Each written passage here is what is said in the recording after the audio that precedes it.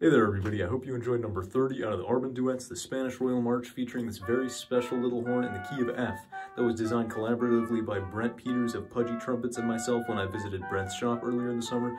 This is such a fun horn to play and I love making good use of it, so make sure to let me know if you want to hear more of it in the comments down below. If you want to check out more Arban Duets, they'll be linked in the playlist in the top right. Thanks for watching, and until next time, we'll see you on the flip side.